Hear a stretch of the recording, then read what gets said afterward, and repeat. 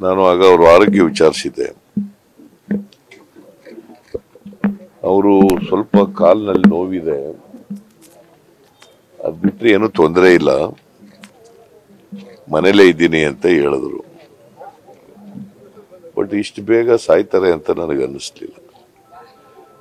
ನಾನು ಒಂದು ಎರಡು ತಿಂಗಳಾಯ್ತಾ. ಒಂದೂವರೆ ತಿಂಗಳ ಹಿಂದೆ ಅವರ ನೃಪತಿಂಗ ವಿದ್ಯಾಸಂಸ್ಥೆನಲ್ಲಿ ಒಂದು ಫಂಕ್ಷನ್ ಇತ್ತು. ಅಲ್ಲಿ ಒಂದು ಪುಸ್ತಕ ಬಿಡುಗಡೆ ಕಾರ್ಯಕ್ರಮ ಅವರು ಅಧ್ಯಕ್ಷತೆ ವಹಿಸಿ ಅದು ಬಹಳ ಆರೋಗ್ಯವಾಗಿಯೇ ಇದ್ರು ಅವರು. ಯಾವುದೇ ಸಿಂಪ್ಟಮ್ಸ್ ಇರಲಿಲ್ಲ ಅವರಿಗೆ. ಮತ್ತೆ ಬಿ ಪಿ ಇರಲಿಲ್ಲ. ಶುಗರ್ ಇರಲಿಲ್ಲ. ಇನ್ಯಾವುದೇ ಕಾಯಿಲೆಗಳಿರಲಿಲ್ಲ ಅವರಿಗೆ. ಆರೋಗ್ಯವಂತರಾಗಿದ್ರು. ನಾನು ಅವ್ರಿಗೆ ಹೇಳ್ತಾ ಇದ್ದೆ, ನಾವಿಗೆಲ್ಲ ನೋಡಿ ಶುಗರ್ ಇದೆ ಬಿ ಪಿ ಇದೆ ನಮಗೆ, ಮತ್ತೆ ಸ್ಟೆಂಟ್ ಹಾಕಿಸ್ಕೊಂಡಿದ್ದೀನಿ, ನೀವು ನೂರು ವರ್ಷ ಬದುಕ್ತೀರಿ ಮಲ್ಲೇಶಿ, ನಾವು ಅದಕ್ಕಿಂತ ಮುಂಚಿತವಾಗಿ ಸತ್ತೋಗ್ಬಿಡ್ತೀವಿ ಅಂತ ಹೇಳ್ತಾ ಇದ್ದೆ ನಾನು. ಅವತ್ತು ಕೂಡ ಹೇಳಿದೆ ನಾನು ಇದನ್ನ. ಅಷ್ಟರ ಮಟ್ಟಿಗೆ ಆರೋಗ್ಯವಾಗಿದ್ದರು. ಅವರು ಇಷ್ಟು ಬೇಗ ಸಾಯ್ತಾರೆ ಅಂತಕ್ಕಂಥದ್ದು ನಮಗೆ ಆಶ್ಚರ್ಯವನ್ನು ಉಂಟು ಮಾಡಿದೆ.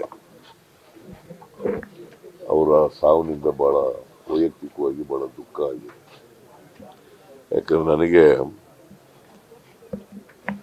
ನಾನು ಫೈನಲ್ ಇಯರ್ ಲಾ ಓದ್ತಾ ಇದ್ದರಿಂದ ಪರಿಚಯ ಅವರು ಅವರು ಮಯೂರ ಒಂದು ಪ್ರಿಂಟಿಂಗ್ ಪ್ರೆಸ್ ಇತ್ತು. ನಾವು ಲಾ ಕಾಲೇಜ್ ಮುಗಿಸ್ಕೊಂಡು ಬೆಳಗ್ಗೆ ಕ್ಲಾಸು ಲಾ ಕಾಲೇಜ್ ಏಳರಿಂದ ಹತ್ತರವರೆಗೆ ಕಾಲೇಜ್ ನಡೆಯೋದು. ಆ ಕ್ಲಾಸ್ ಮುಗಿಸ್ಕೊಂಡು ನೇರ ಅವರು ಇದಕ್ಕೆ ಬರ್ತಿದ್ದರು ಇವ್ರ ಜೊತೆ ಕೂತ್ಕೊಂಡು ಮಾತಾಡ್ತಿದ್ದೆ. ಇವತ್ತು ರಾಜಕೀಯದಲ್ಲಿ ನಮಗೆ ಅಡ್ವೈಸ್ ಮಾಡಿ ನಮಗೆ ಎಲ್ಲ ರೀತಿಯಲ್ಲೂ ಕೂಡ ಸಹಾಯ, ಸಹಕಾರ ಕೊಟ್ಟಂತ ಒಬ್ಬ ವ್ಯಕ್ತಿ ಅವರು ಅಲ್ಲೇ ನಾನು ಒಬ್ಬರಿಗೆ ಅಲ್ಲ, ಬಹಳ ಜನರಿಗೆ ಅವರು ರಾಜಕೀಯವಾಗಿ ಪೊಟೆನ್ಷಿಯಲ್ ಇರತಕ್ಕಂಥ ಎಲ್ಲ ವ್ಯಕ್ತಿಗಳಿಗೂ ಕೂಡ ಸಹಾಯ ಮಾಡ್ತಕ್ಕಂಥ ಮನೋಭಾವ ಇತ್ತು. ಎಲ್ಲಕ್ಕಿಂತ ಮುಖ್ಯವಾಗಿ ಜಾತ್ಯತೀತ ಮನೋಭಾವ ಇದ್ದಂಥ ವ್ಯಕ್ತಿ. ಸಮಾಜವಾದಿ, ಲೋಹಿಯ ಸಿದ್ಧಾಂತದಲ್ಲಿ ನಂಬಿಕೆ ಇಟ್ಕೊಂಡಿದ್ದಂಥವ್ರು ಕನ್ನಡ ನಾಡಿನ ನೆಲ, ಜಲ, ಭಾಷೆ ಬಗ್ಗೆ ಅಪಾರವಾದಂಥ ಕಾಳಜಿಯನ್ನು ಇಟ್ಕೊಂಡು